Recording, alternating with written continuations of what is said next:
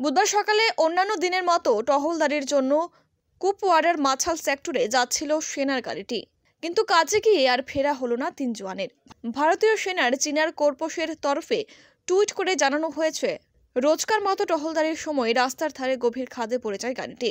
প্রাণ হারান junior commissioned officer ও দুই অন্য র্যাঙ্কের জওয়ান। রাস্তায় বরফ থাকার কারণে পিছলে দুর্ঘটনা ঘটে বলে মনে করা হচ্ছে। ইতিমধ্যে তিনজনের দেহ উদ্ধার করা সম্ভব হয়েছে। একসময় সন্ত্রাসের খাঁটি ছিল জম্মু ও কাশ্মীর। মোদী সরকারের প্রচেষ্টায় সন্ত্রাসের আতুরঘর এখন বাস্তবিক ভূস্বর্গ। পর্যটন কেন্দ্রে পরিণত হয়েছে কাশ্মীর। দিন দুয়েক আগে আবার জম্মু ও কাশ্মীরের তরফে এও জানানো হয়েছিল যে এগারোই জানুয়ারি থেকে কয়েকদিন ভূস্বর্গে বরফ থাকবে। তাই এই সময়টাই ভূস্বর্গে ঘুরতে যাওয়ার আদর্শ সময়। পূর্বাভাস মতোই কুপওয়ারাও এদিন ঢেকেছিল তুষারের চাদরে, কিন্তু তা প্রাণ কাড়ল তিন জোয়ানের।